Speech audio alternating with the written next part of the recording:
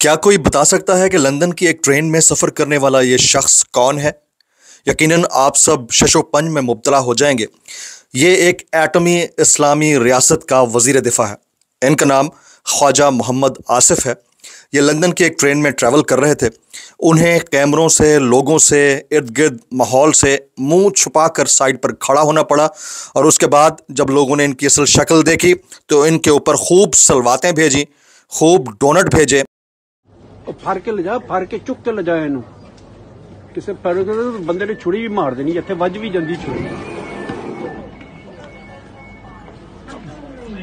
ਉਹ ਬਗਾੜਤਾ ਉਹ shut the fuck up you idiot Aslam मैं जमील फारूकी हूं आप मेरा ऑफिशियल यूट्यूब चैनल देख रहे हैं तमाम तारीफ उजर पाक के लिए जो हमारी शहरत से भी करीब है और हमारी हर आने जाने वाली सांस के बीच में होने वाली मामूली सी जुम्बिश को भी बखूबी जानता है और तमाम दुरुद पाक नबी आखुज़मा हज़रत मोहम्मद मुस्तफ़ा अहमद मुतबा सल्लल्लाहु अलैहि वसल्लम की ज़ात पाक के ऊपर जो वजह तख्लीक कायनात हैं, जिनकी वजह से हम हैं, जिनकी वजह से ये कुल कायनात है। आज तेरह नवंबर है, बुध का दिन है, जिस वक्त ये वीडियो रिकॉर्ड हो रही है, पाकिस्तानी वक्त के मुताबिक शाम के साढ़े सात बज चुके हैं। और मेरी अंडरस्टैंडिंग में, मेरी नज़र में आज के दिन की सबसे बड़ी डेवलपमेंट सबसे बड़ी ब्रेकिंग न्यूज़ सबसे बड़ी खबर यह है कि शरीफों के साथ पाकिस्तान में तो हुआ जो हुआ अमेरिका में भी हाथ हो गया है। मैं पहले ही कह रहा था, ये कोई कार्रवाई डालने वहाँ गए थे, लेकिन इनसे बन नहीं पाई। अब बहुत सारे सहाफ़ियों ने, रिपोर्टर्स ने इसको वैलिडेट करना शुरू कर दिया है। शुरू में आपने एक छोटा सा वीडियो ग्लिम्स मुलाजा किया। वो वीडियो मुबैना तौर के ऊपर ख्वाजा साहब की पाकिस्तान के वज़ीर दिफा की, लंदन की एक ट्रेन के अंदर ट्रैवलिंग की है। उस दौरान उन्हें मुँह छुपाकर खड़ा होना पड़ा। ये वीडियो इस बात की गमाज है कि हालात चाहे कैसे भी हों, पाकिस्तान के अंदर और पाकिस्तान से बाहर, पाकिस्तानियों के साथ यकीनन कहीं ना कहीं कोई बड़ी नाइंसाफ़ी हुई है, जिसकी भड़ास पब्लिक निकाल रही है। आपसे थोड़ी देर पहले पंजाब असेंबली में करारदाद मंजूर की गई और कहा गया कि काजी फायज साहब की गाड़ी के ऊपर मिडिल टेंपल यूनिवर्सिटी के बाहर जो लंदन में हमला हुआ, वो गलत था, उसकी मजम्मत की जाती है। और पाकिस्तान के अंदर 25 करोड़ पाकिस्तानियों की रोज़ाना की बुनियाद के ऊपर जो दिल आज़ारी की जा रही है, हरासगी की जा रही है, उन्हें परेशान किया जा रहा है, उनका जीना मुहाल किया गया है, उसके ऊपर कोई करारदाद कहीं पर मंजूर नहीं होती। यह उतना ही अफसोसनाक है जितना लंदन के अंदर होने वाला वाक्य था, लेकिन क्या कर सकते हैं? पाकिस्तान है, शायद पाकिस्तान में इस तरह के वाकत मामूल बन गए इसके अलावा और बहुत सारी खबरें हैं, इसलिए गुजारिश है कि आपने वीडियो को शुरू से आखिर तक देखना है। एक और गुजारिश, अगर आपने चैनल नहीं किया अभी तक, सब्सक्राइब ज़रूर सब्सक्राइब कर लीजिएगा। बेल आइकन यानी घंटा या घंटी अपने अंगूठे, उंगली या साथ रखे डंडे से दबा सकते हैं। इसके अलावा व्हाट्सएप चैनल का लिंक हर वीडियो के डिस्क्रिप्शन के अंदर, यानी टाइटल के नीचे जहाँ हैशटैग होते हैं, उसे डिस्क्रिप्शन कहते हैं। उसके अंदर व्हाट्सएप चैनल का लिंक मौजूद होता है। उसको जाकर क्लिक करके ज्वाइन कर लेंगे। फायरवॉल की वजह से, अब तो कंफर्म करना शुरू कर दिया लोगों ने। फायरवॉल की वजह से हो सकता है कि आपको नोटिफिकेशन ना मिले तो आपको लिंक के अंदर नोटिफिकेशन मिल जाया करेगा। Top story of the day इससे पहले कि हम मियाँ नवाज़ शरीफ साहब और उनकी फैमिली की जिनेवा और उसके बाद लंदन यात्रा की गुफ्तु करें। बीच में अमेरिका भी कहे कि वहाँ पर उनके साथ क्या बीती है? असल में ये करने क्या गए थे? वहाँ पर मुलाकात का एजेंडा क्या था? कुछ इनसाइडर मेरे पास है, कुछ सहाफ़ियों ने उसको वैलिडेट किया है। वो मैं बताता हूँ, उससे पहले ख्वाजा आसिफ साहब की बात कर लेते हैं। ख्वाजा आसिफ साहब इस वक्त बैरून मुल्क मौजूद हैं और एक ट्रैवलिंग के दौरान मुबैना तौर के ऊपर लोग ये क्लेम कर रहे हैं कि ये उनकी लेटेस्ट वीडियो है डब्ड नहीं है जेनवन है, लोग क्लेम कर रहे हैं। मैं फिर भी लफ्ज मुबैना इस्तेमाल करता हूँ स्टेटेड यानी जो हमारे पास सोशल मीडिया से आई। इस वीडियो के अंदर देखा जा सकता है कि वो मुँह छुपाकर एक साइड के ऊपर खड़े हुए और उन्हें समझ नहीं आ रही कि वो अपने हाथों से किसी तरह अपने मुँह को ढक लें। लेकिन फिर भी एक अदद पाकिस्तानी ने उनको कैप्चर कर लिया और उनको डोनट भेजना शुरू कर दिए। गो के डोनट पाकिस्तानियों का अब खासतौर पर पाकिस्तानी सरकारी अहदेदारान का एक फेवरेट स्वीट डिश है। तो वो उन पर भेजना शुरू कर दिए। अफसोस की बात है, ये नहीं होना चाहिए। दुनिया भर में कहीं पर भी नहीं होना चाहिए। लेकिन ऐसा क्यों है कि पाकिस्तानी अपने मुल्क के अंदर जो बड़े बड़े उहदों पर फायज लोग हैं, बशमूल काजी साहब जो रह चुके हैं उनके ऊपर डोनट भेजना फ़र्ज़ एन समझते हैं, फ़र्ज़ किफाया नहीं, बल्कि फ़र्ज़ एन समझते हैं। ऐसा क्यों है? ये अगर अपने गरेबानों के अंदर झाँक कर इसको देखें तो इनको आइडिया होगा कि इन्होंने कितनी बड़ी नाइंसाफी और ज्यादती कर दी है।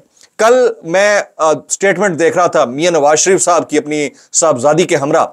मियाँ नवाज़ शरीफ साहब अपनी साहबजादी के हमरा खड़े होकर कह रहे थे कि जितनी बद तहजीबी बदतमीजी हमने इस दौर में देखी है, नहीं देखी अब लोग जो है हमारे पीछे लग जाते हैं, गाड़ियों का पीछा करते हैं, हम पर टमाटर और अंडे फेंके जाते हैं और इनको अगर एहतजाज, नसीब में मिला है तो एहतजाज करने का तरीका तो सीख लें। आपको गवर्नमेंट करना नसीब में नहीं मिला था, मियाँ साहब। चार आपके अदवार गुजरे हैं। चार अदवार में हमेशा अदलिया और मीडिया के साथ जो हुआ है वो हमने अपनी आँखों से देख लिया है।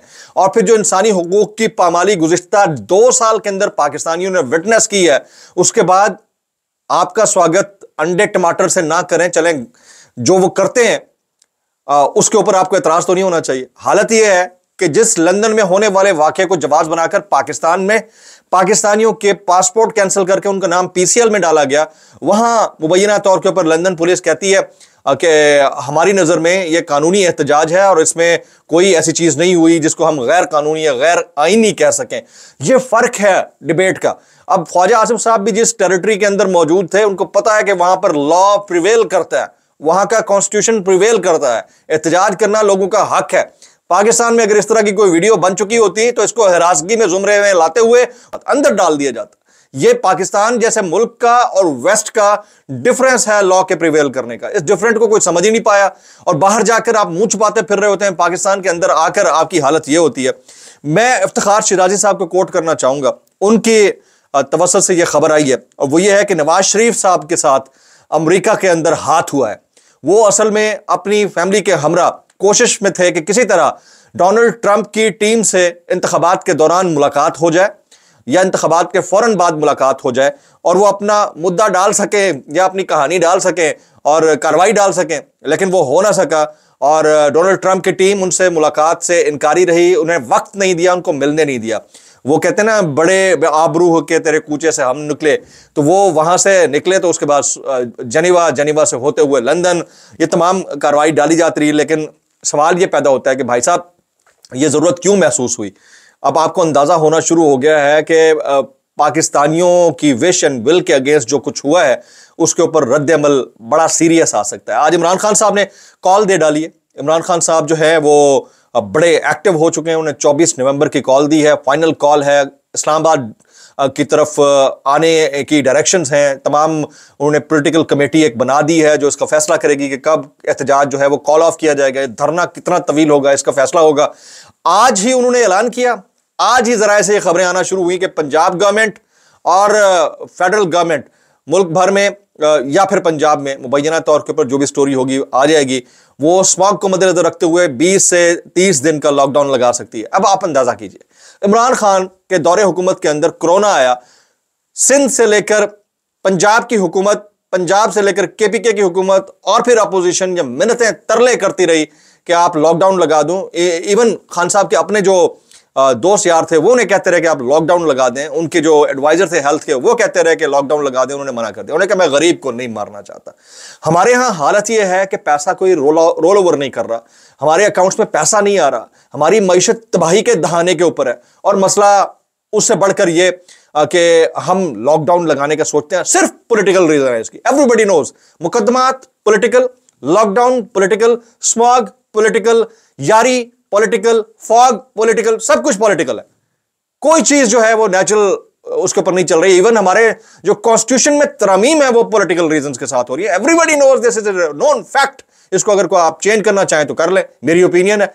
लेकिन इसको मद्देनजर रखते हुए आपने दो मिनट के लिए नहीं सोचा कि यार, एहतजाज इनका राइट है। अच्छा वो कैसे सोचेंगे? इनके, इनकी मतलब गीदड़ भबकियाँ और बदमाशियाँ चेक करें यार, आप अंदाज़ा करें, इस सरकार की। यानी वीपीएन के ऊपर आपने कदगन लगाई वीपीएन पाकिस्तान के अंदर बैन कर दिया। ठीक है? कब? 2024 के नवंबर के अंदर वीपीएन बैन कर दिया। उससे पहले ट्विटर बैन किया हुआ है एक साल से। और तोजी अब इनके हरकारे, अलामा डॉक्टर ताहिर अशरफी का मैं देख रहा था ट्वीट, इनके हरकारे तोजी ये पेश करते हैं कि नौजवान नस्ल को बचाने के लिए ये कदम हमें उठाना पड़ा। हमने वीपीएन बैन कर दिया क्योंकि गलत साइट्स तक एक्सेस थी। और इतलात ये है कि रोज़ाना गैर अखलाकी वेबसाइट तक रसाई की दो करोड़ कोशिशों का इंकशाफ हुआ और उनको रोकने के लिए वीपीएन ब्लॉक करना पड़ा यार। किस शर्म से डूब मरने का मकाम है। कब से इंटरनेट आया हुआ है दुनिया में? वीपीएन कब से वर्चुअल प्राइवेट नेटवर्क काम कर रहा है? और कब से मतलब किस किस के मोबाइल फ़ोन के अंदर ये वीपीएन नहीं होते होंगे? अब याद आया, इसकी टाइमिंग आपकी इंटेंट की जो है ना, वो बता देती है कि आपकी इंटेंट के अंदर खोट है। टाइमिंग बताती है। मतलब अब ट्विटर भी क्या वीपीएन पे एक्सेसिबल होना चाहिए? था इतनी गंदी साइट थी कि वीपीएन लगाकर उसको एक्सेस सारा ड्रामा यह है कि ये आप नौजवान नस्ल को बचाने के लिए नहीं, बल्कि अपने खानदानी विरासती नस्लों का जो पीछे से आया हुआ मलबा है ना, उसको छुपाने के लिए आप कर रहे हैं और उनका मुस्तकबिल सेफ़ गार्ड करने के लिए ये सब कर रहे हैं। क्योंकि आपको पता है कि जो ट्विटर के ऊपर राय का इजहार कर सकते हैं, कल को निकल भी सकते हैं। कल आप बाहर जाते हैं, बाहर आपको रोक भी सकते हैं। ये पाकिस्तानी है भाई। उनका उनका सिविल राइट है, उसको कोई रोक नहीं सकता। हम इस सिविल राइट के साथ खड़े हैं, तमाम पाकिस्तानियों के साथ। कल को अगर कोई और इमरान खान पावर में आकर इनके ऊपर कदगन लगाने की कोशिश करेंगे, हम इमरान खान साहब को भी टफ टाइम देंगे कि आप क्यों लगा रहे हो? याद होगा जब मीडिया के ऊपर कुछ बयान देना शुरू कर दिए थे पाकिस्तान तहरीक इंसाफ के जोमाओं ने तो हमने कहा था, ये ना करो। कल को आपको यही मीडिया बचाएगा। Not the only national media but the social media और आज सोशल मीडिया इमरान खान साहब की पार है सोल पार है। तो ये समझने की ज़रूरत है इसको कोई समझ नहीं आ रहा है। जनाब गरीब गुरबा की और अंडे टमाटरों की बात करने वाली जो सरकार है बहुत सारी चीज़ें मैं शामिल कर दी हैं। वो खुद किस तरह का लाइफ स्टाइल इंजॉय करती है? मैं कल देख रहा था मरीम नवाज़ शरीफ साहिबा जो है वो एक फर कोट पहनकर खड़ी थी। उन्होंने हेडगेयर लिया हुआ था और आ, मीडिया से बात कर रही थी। बहरहाल ये उनका स्टाइल है उसके ऊपर तो मुझे कोई एतराज़ नहीं लेकिन जो आ, कपड़े पहने हुए हैं इतलान मुबैना तौर के ऊपर जो फर कोट है इस वक्त इसकी जो कीमत है वो allegedly twenty four thousand US dollar से सेवेंटी वन थाउज़ेंड यूएसडी तक है। यानी चौबीस हज़ार यूएस डॉलर तकरीबन एक करोड़ के पड़ते हैं अगर मिनिमम प्राइस भी ये हो तो। एक कोट। एनक की कीमत 1140 डॉलर है यानी ऑलमोस्ट थाउज़ेंड डॉलर तीन चार साल तीन लाख सवा तीन लाख की। आ, इसके अलावा और बहुत सारा एक बैग है जो बहुत इंपॉर्टेंट कंपनी का है मैं नाम नहीं लेना चाह रहा। साठ हज़ार डॉलर का एक्सपेक्टेड या लेज्ड प्राइस है उसकी। तो ऐसी सूरत हाल में हमारी जो अशराफिया है वो अवामनास की बात करती है अवाम की राय की बात करती है। फिर ये कहती है कि अवाम हमें हमारा पीछा ना करे हमें सुनाए ना। आपका अपना लाइफस्टाइल ये है। आप ऐसा लाइफस्टाइल एंजॉय करते हुए पब्लिक को किस तरह से आ, आ, उनको ये तसल्ली देते हैं कि हम आपके साथ खड़े हैं या हम आप ही में से हैं? ये बहुत अजीब सी बात है। अच्छा आज कॉन्स्टिट्यूशनल बेंच जो है वो बन गया कॉन्स्टिट्यूशनल बेंच ने कार्रवाई शुरू कर भी दी है। उसमें कुछ केसेस हैं जो बड़े इंटरेस्टिंग केसेस हैं। जैसे अली ज़फ़र और मीशा शफी हराजगी केस भी समाज के लिए मुकर कर दिया गया। अब हमारे जो चीफ जस्टिस साहब हैं, उनकी तो जो पावर्स हैं, वो तो ऐसे ही है कि जैसे ना होने के बराबर है। लेकिन ये वाले जो आईनी बेंच के सरबरा हैं अमीनुद्दीन खान साहब, वो अब इस तरह के केसेस को भी कॉन्स्टिट्यूशनल केस का हिस्सा बनाकर इसको सुनना पसंद कर रहे हैं। मुझे डाउट है, आप जरा चेक कीजिएगा, कहीं अली ज़फ़र साहब ने भी तो इमरान खान के फेवर में कोई बयान या कोई ट्वीट नहीं दागा। कि इसको, इस तरह के केसेस को भी कॉन्स्टिट्यूशनल बेंच सुना करेगी। मतलब हद हो गई है। और जिस बेंच के ऊपर एक कोर्ट है, जिसको हम सुप्रीम कोर्ट कहते हैं अपेरेंटली उस कोर्ट का जो चीफ जस्टिस है माजत के साथ, वो सवाए रंग रोगन, दीवारों की सफ़ाई और फिर इसके अलावा और उनका ऑफ़िस जो है, वो इस वक्त उससे ज़्यादा एक्टिव दिखाई नहीं देता। This is so unfortunate for the people of Pakistan अब आगे आ जाते हैं। जनाब, कल पाकिस्तान तहरीक इंसाफ के पाँच जो रहनुमा हैं और उनके तहादियों को गिरफ़्तार किया गया था, उसके ऊपर आज एक डेवलपमेंट हुई है। गुजशत रोज़ अडियाला जेल में उमर अयूब, असद कैसर, शिबली फराज और साहिबजादा हामिद रजा को मुलाकात की इजाज़त ना देने और गिरफ़्तार करने का मामला एक बार फिर इस्लामाबाद हाईकोर्ट पहुँच गया तोहन अदालत की जो दरख्वास्त है, वो दायर कर दी गई है। जबकि सुप्रीम कोर्ट का जो आइनी बेंच है, वो चौदह नवंबर को अट्ठारह केसेस की समाप्त करेगा, जब आइनी बेंच पंद्रह नवंबर को सोलह केसेस की समाप्त करेगा।